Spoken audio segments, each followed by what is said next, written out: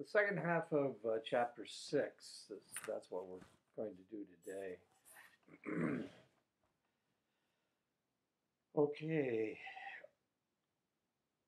Parents influence children while they're playing in several different ways. Excuse me.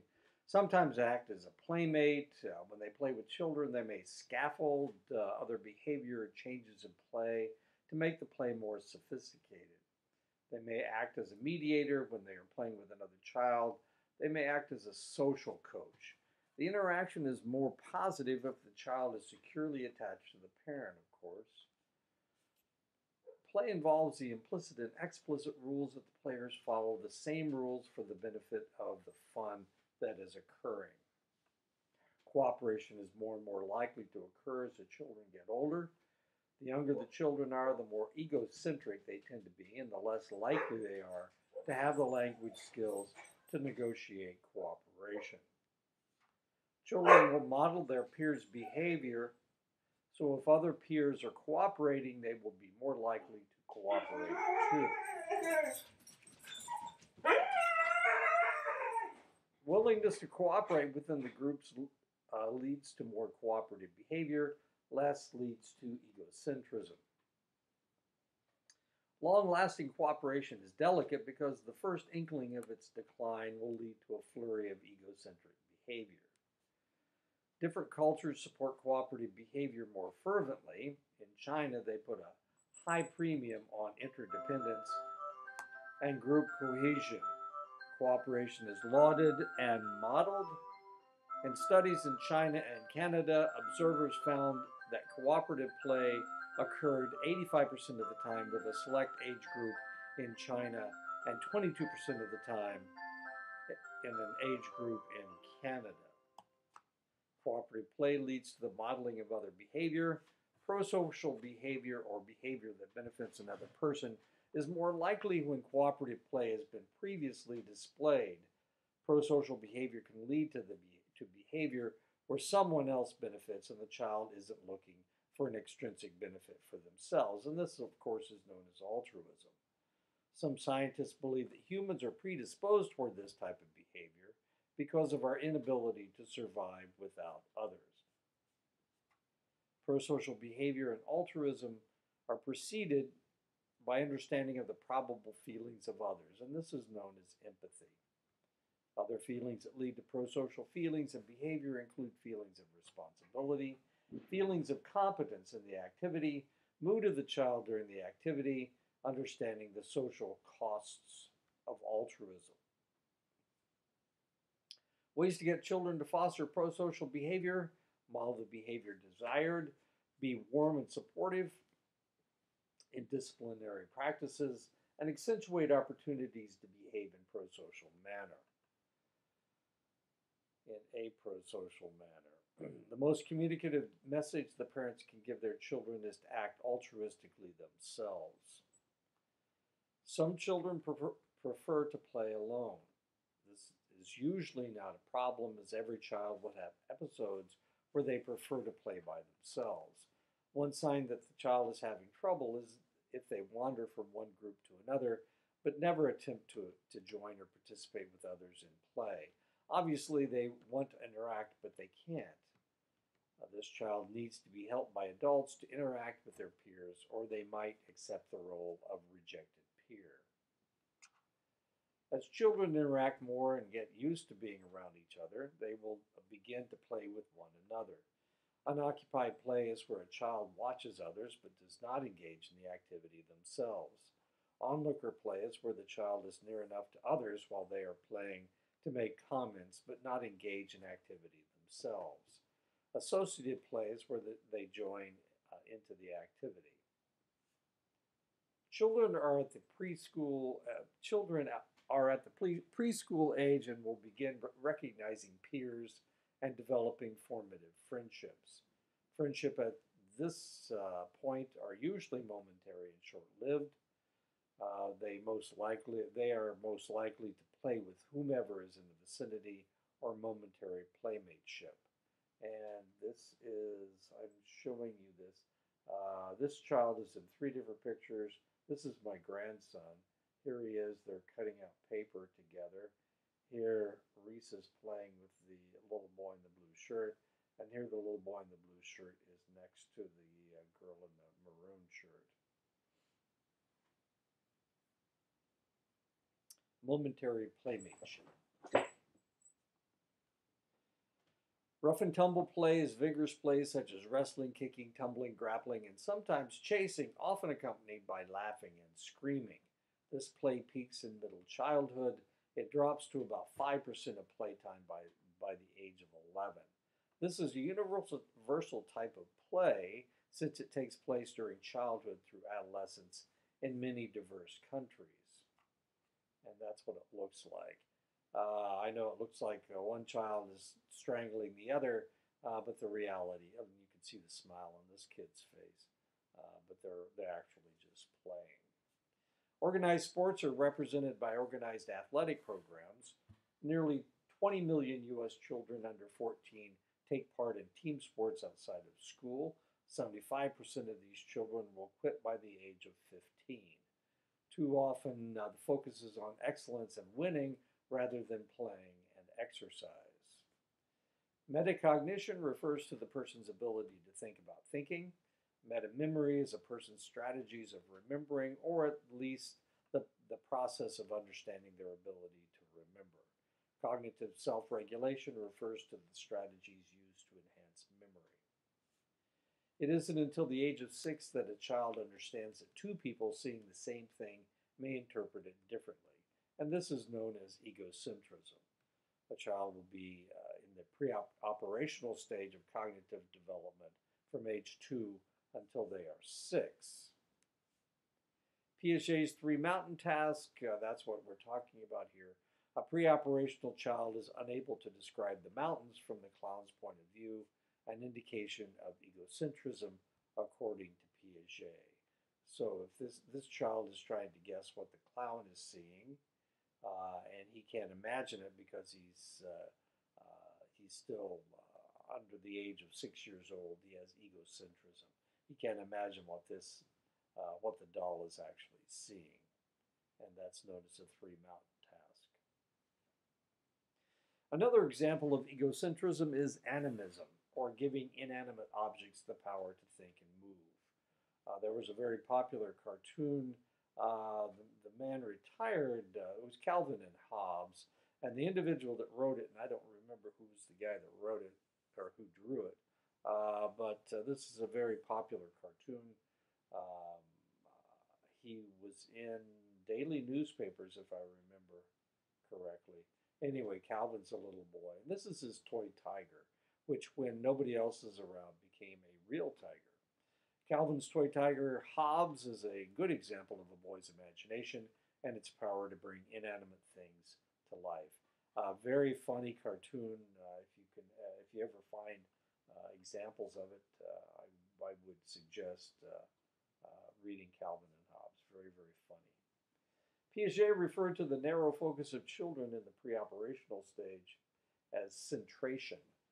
A good example of centration is conversion or the ability, the inability to understand that when something changes its shape, it doesn't change its properties. Uh, in other words, she sees uh, this graduated cylinder and she sees this baker there, beaker. They're both uh, holding the same amount of fluid, uh, but she can't imagine that because she has uh, centration. Uh, she can't convert one one size to the other size. Children in the pre-operational stage of cognitive development tend to only think in one direction, a thought process called irreversibility. Math may be confusing for some because they understand addition but not subtraction. Reversing the pro process baffles them. And of course, this is what a popsicle looks like when it's frozen. This is what a popsicle looks like when it's not frozen, when it's warmed up. Uh, by pre-operational, by the pre-operational stage, children have become adept at classifications, understanding that many things can be arranged through the process, uh, shapes, colors, textures, materials. This individual is, uh, is separating things into birds, insects, mammals, and plants.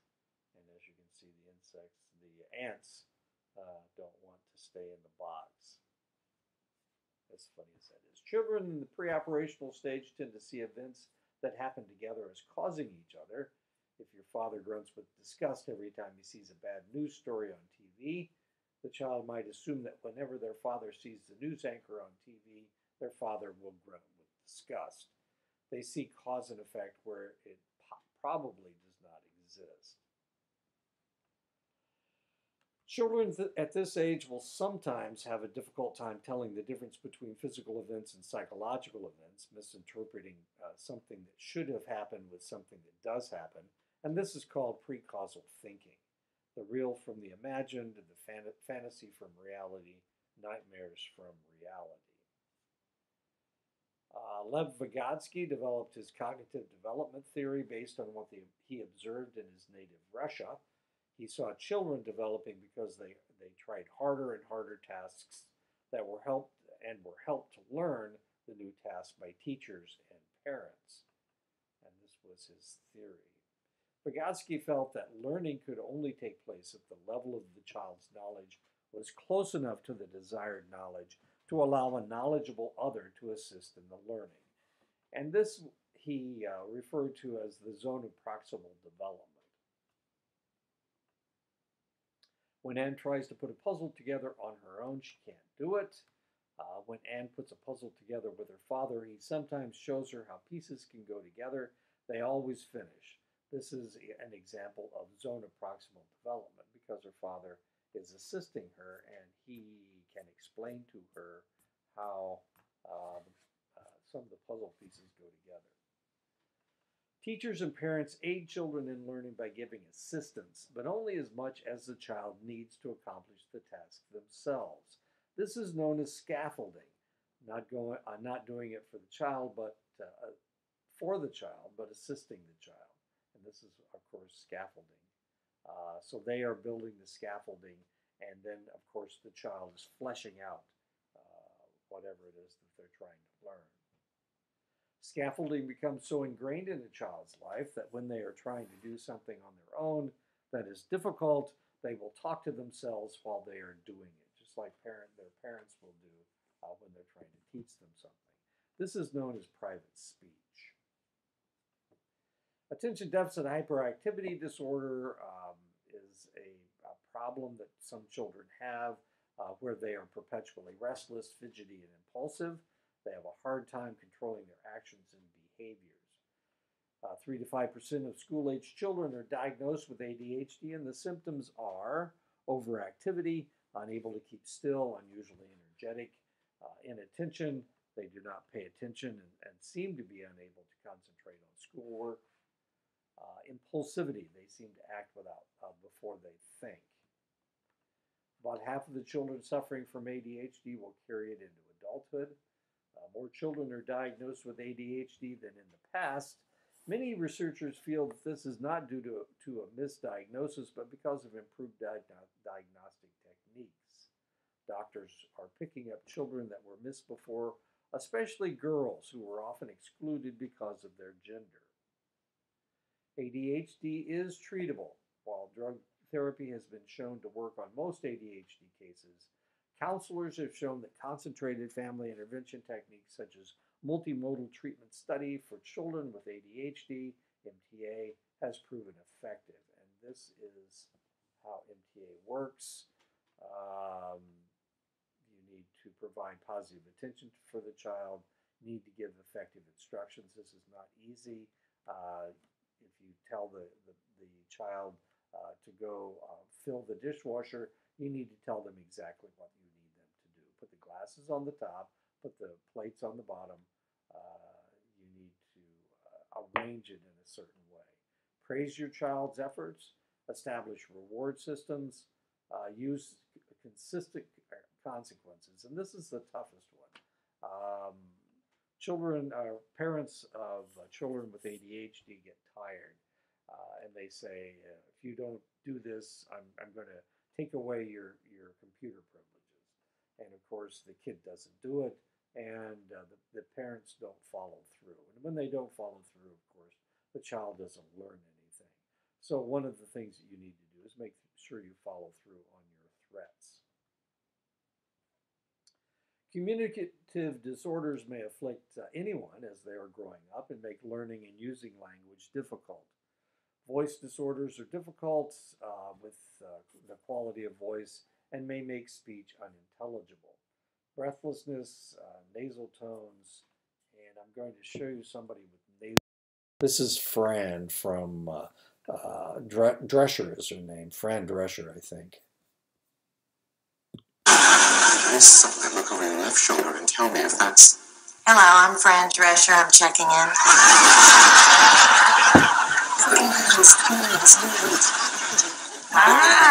Hi.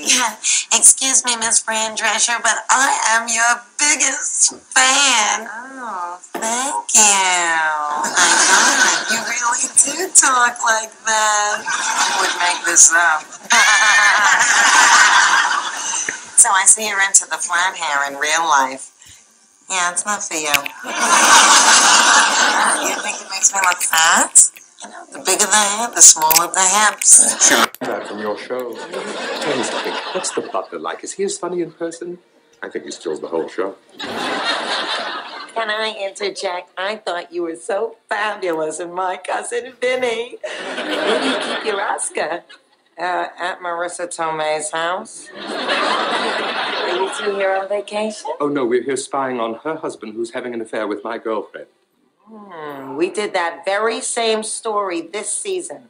Really? I didn't see that. When was it on? Now. And don't forget to watch the series finale next week. Oh, I wouldn't miss it for the world. Unless, of course, that's the night I'm having my twins. Fran Drescher. She has a nasal, a nasal tone. Fluency disorders are disruptions of the normal rate of speech patterns.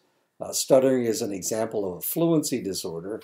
And I'm going to show you, uh, maybe I will or maybe I won't. There we go. Okay, now I have it. Let's see. I need to show you famous people with this problem.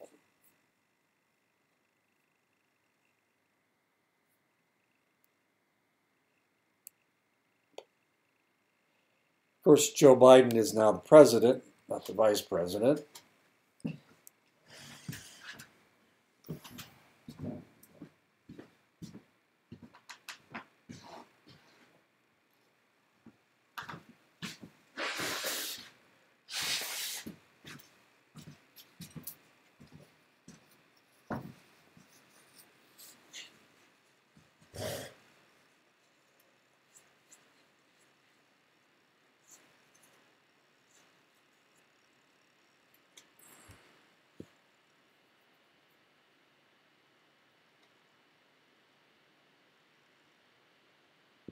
Jim Davis is from my hometown of Muncie, Indiana, strangely enough.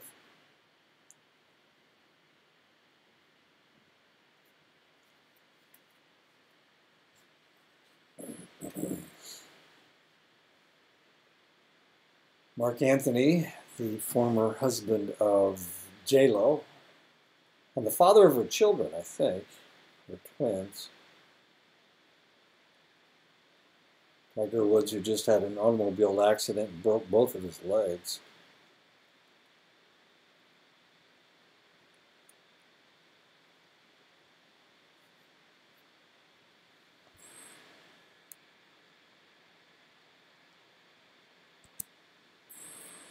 All right. Um, articulation disorders are where an individual has a difficult time making specific sounds. The most common articulation disorder is replacing the R and the L sound with the W sound. And we're going to hear an example of this. Uh, they may also make a D sound for the TH sound. Lisping is an articulation disorder, and I'm going to show you an example of both the uh, inability to say R's and L's and uh, lisping.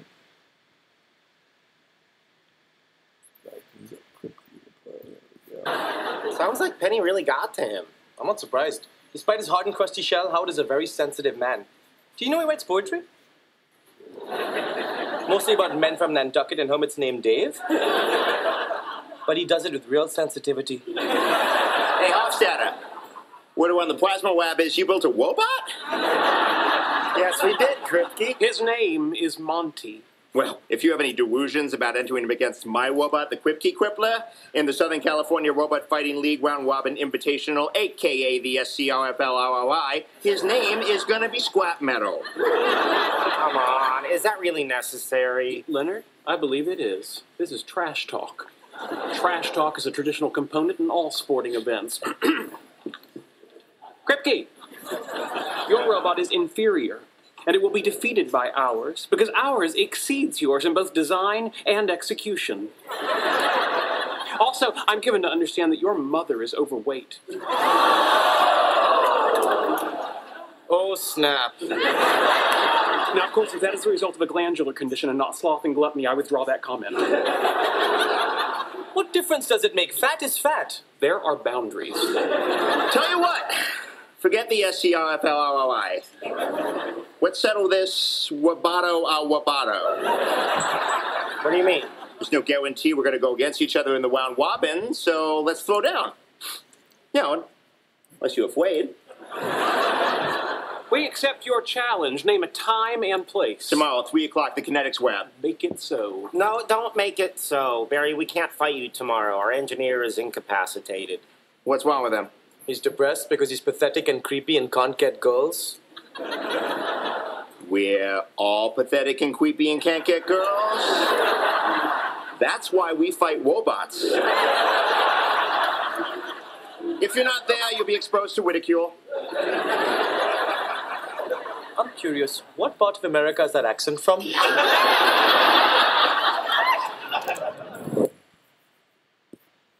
Okay, that was Kripke.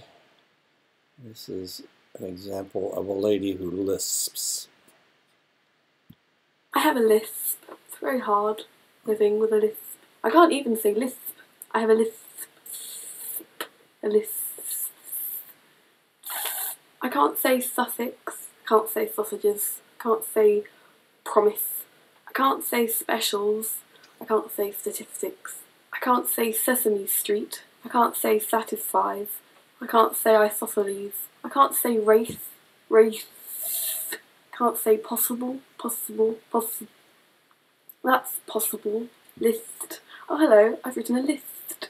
Asked. Suspicious. Oh, you know, I'm I'm so sorry.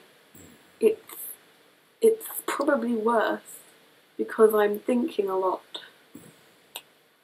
It's difficult and I'm apologising to someone and I'm just like, I'm so sorry. It doesn't make things easy for me having a lisp.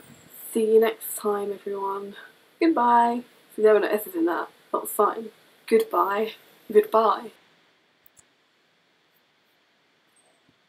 Okay, um, if you noticed uh, watching her talk, uh, one of the reasons that she uh, has a lisp is because she uh, says she uh, says the S sound by uh, put pressing her teeth uh, up against her teeth instead of uh, up against the roof of her mouth or palate.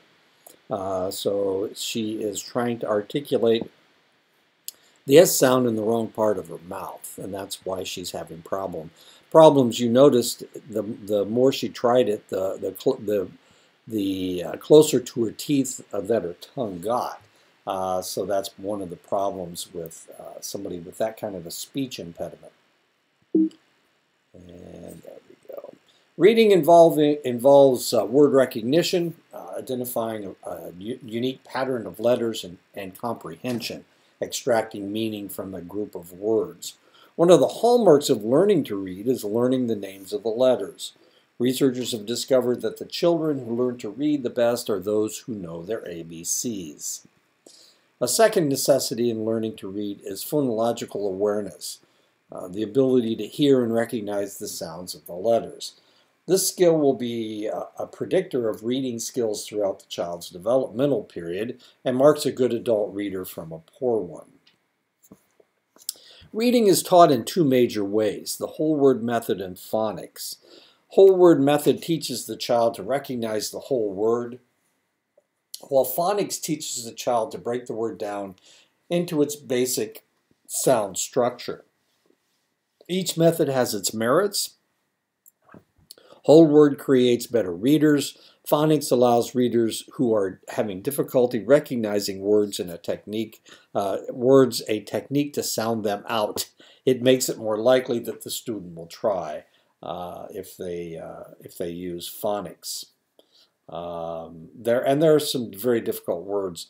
I've worked in medicine uh, all my adult life, and uh, there's there are a lot of medicines that, that nobody can pronounce because uh, they they well nobody's exactly sure. Putting all those letters together doesn't make it a word, uh, but there's a lot of uh, of uh, problems. Um, a good one, a good example is uh, erythematosis. Um, some people pronounce it erythematosis, erythematosis. And you guys have never heard of any of these. sonometer. Um, doctors say sonometer. It's the French pronunciation of centimeter. Um, nurses usually sometimes will, will repeat what the doctor says. Sometimes they say centimeter like everybody else in the world, except the French and doctors, as weird as that is. Anyway, there's there are a lot of people that don't quite know how to pronounce words correctly. Uh, sometimes words will have uh, two pronunciations or multiple pronunciations, and it all depends on uh, where you come from as to how you pronounce that word. Um, I have an accent. Uh, you may have noticed it. Uh, I pronounce words like somebody from Indiana. Uh, sometimes I put uh, in wa- with the word wash, W A S H. Uh, sometimes I'll put an R in there, and that is a Hoosierism, wash instead of wash. Uh, color, I can't tell. I, I can't pronounce the difference between C O L L A R and C O L O R. I pronounce them both the same.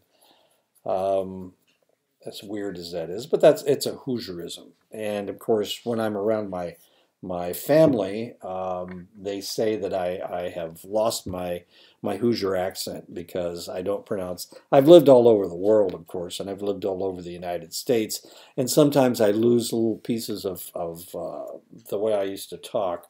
Uh, when I went to my 50th high school high school reunion, um, uh, they were uh, telling me that uh, I was so much different because I I talk differently than I did before. I certainly don't speak with a Southern accent, uh, even though I lived in Mississippi and Oklahoma um, and Arizona, of course. Uh, I've also lived in in Montana, Nebraska, Ohio, uh, California a couple times, uh, Washington, D.C., Washington, D.C., Washington, D.C. anyway, so people will develop a, an accent. As children begin to read and comprehend what they're reading, they develop uh, increased working memory capacity to encompass longer and longer sentences and increased general knowledge of their physical, social, and psychological worlds. Children begin using expanded and more appropriate reading strategies with experience. Children are better able to monitor their comprehension. Uh, humans are just about the only species that raises their young in the family unit, mother, father, and child. Um, as you can see, bears uh, will, the mother will raise the children uh, in many, uh, uh, many animals in the animal kingdom. Uh, only the mother raises the children. In some instances, like with snakes or with reptiles, they don't raise their children at all. the, the children uh, will mature and uh, they'll either survive or they won't survive. Anthropologists and evolutionary psychologists believe that families are prevalent among humans in order to assure that uh, offspring will survive to reproduce. Humans are unable to survive on their own for, for several years after birth, uh, and they have determined that it, it's about three and a half years uh, so if uh, the child isn't taken care of for the first three and a half years, uh, then they potentially they will not survive. They can't survive on their own. Parenting involves two dimensions uh, the degree of warmth and responsiveness uh, the parents show and the amount of control they exert over their children. Authoritarian parents uh, are high in their, their amount of control and they have little warmth Uh, parents establish strict rules and expect their children to obe- obey them without question. Uh, there is little interaction between the parents and their children except for the parent dictating uh, actions and the child following. Uh, authoritarian parenting was very popular in the beginning of the 20th century, uh, probably until well through throughout the 19th century and into the 20th century. Um, it probably ended around the hippie times. Uh, the 60s and 70s, things changed a little bit. Authoritarian parenting was out, uh, more permissive parenting was in. And at that uh, at that juncture, psychologists realized that authoritarian parenting was not always the best way to, to raise a child. But then uh, they kind of went the other the other direction, and they had more permissive parenting styles. Uh, the hippies didn't want to control anybody, man. Um, parenting style offers warmth and caring. The parents do care about their children, but they don't want to control them. They want the ch- children uh, to have free rein uh, and uh, do whatever they want. Free range children, as it were. These parents accept anything the children want to do. Uh, they punish infrequently, if at all, ever at all. Uh, this isn't good for the child because their brains are not mature enough to make these decisions. Uh, authoritative parenting. So then in the 1970s, 1980s, they came up with this concept of authoritative parenting. Uh, it has a fair degree of parenting control, but it also has warmth and responsiveness. So it wasn't the parenting of the Victorian era of their of their uh, children of their their parents, uh, but it was a uh, kind of a cross between permissive parenting and authoritarian parenting. Uh, there's a great deal of interaction between the parents and the children. The rules are set down, explained, and if need be, they are discussed. Uh, there's another type of parenting called rejecting, neglecting parenting, uh, they provide no warmth, they provide no control for the child. Often the parents' desires come before the child's. Uh, they attempt to minimize the amount of time they spend with their children. Uh, they do not get emotionally involved with their own children, as weird as that may seem. I don't know, I can't remember where I found this picture. it's a fairly famous picture of a child duct taped to the wall. Parenting styles vary across cultures. Asian cultures tend to be more collectivist and therefore they accentuate a child being cooperative rather than individualistic and sticking out. Parenting in collectivist uh, environments are less likely to support the extension, the expression of affection as compared to more individualistic cultures as in the United States. Parenting styles also vary widely within the same culture. So saying white people act this way or black people act that way or, or uh, uh, indigenous people act another way is not really it's not really accurate. And we Asian parents do tend to be more authoritarian, uh, but I mean that's certainly not absolute. Parents today do more explaining than was traditional four or five decades ago. This parenting model is referred to as direct instruction, where the parent explains to the children the child what to do, when to do it, and why they are doing it. This is often done by uh, tying emotions and behavior together. Modeling children learn as much by watching their parents and doing what they see them do as formal instruction. This is known as modeling. For an older sister or brother, the first sibling is an encroachment on their exclusive time with their parents.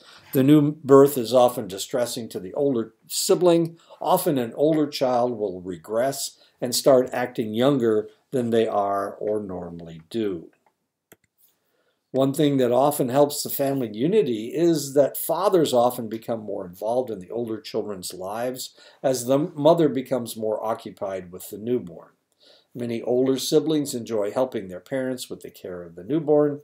Uh, in some cultures, older daughters are expected to help care for their young, younger siblings. Siblings.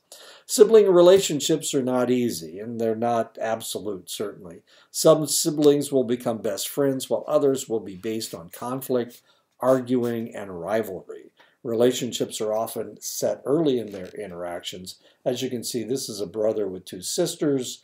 Uh, one sister seems to like uh, him putting his arm around her, and the other one is not real happy about it.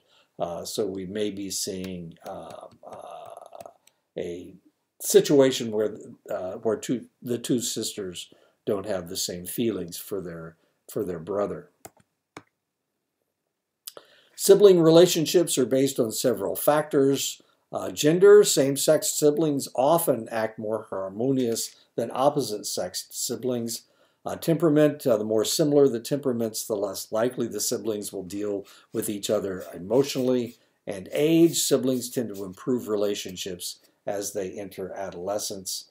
Uh, you can see this little boy's giving his sister uh, donkey ears, as well he should. Siblings who don't uh, get along often feel that their parents have favorites in the family. Parents uh, should be careful about praising one child over the other. Too much praise for one child may lead to undue rivalry.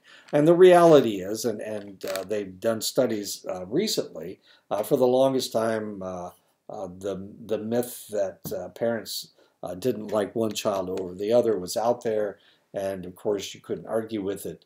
but then they did studies, and that what they realized was that parents really do have favorites, and they will show those favorites.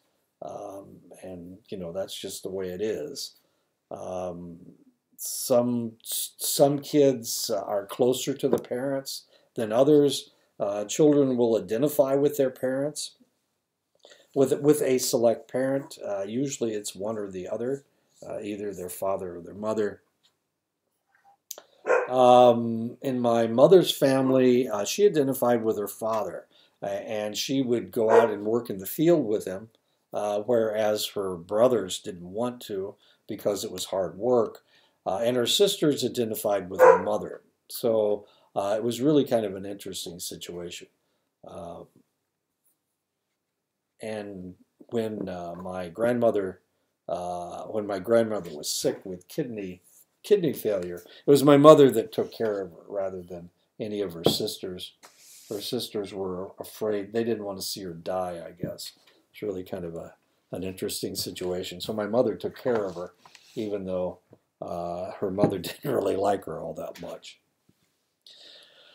The quality of the parents' relationship will often dictate how the siblings will interact. A warm, harmonious relationship between parents will often foster positive sibling uh, relationships. Um, now we're going to talk about firstborns and laterborns.